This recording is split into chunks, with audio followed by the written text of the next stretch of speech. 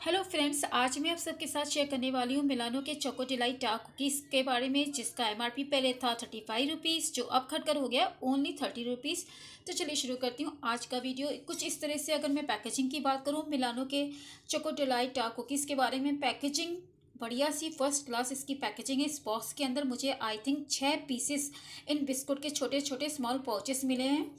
Packaging इन छोटे छोटे small पॉचेस में एक सिंगल पीस डार्क कुकीज़ है, जो कि काफ़ी बहुत अच्छा अच्छी बात है। इससे क्या होता है बिस्कुट या आपका कुकीज़ ज़रा भी वेस्ट नहीं जाता है। जितना रिकॉर्ड क्वांटिटी में लेना हो, उतना ही ले ले सकते हैं।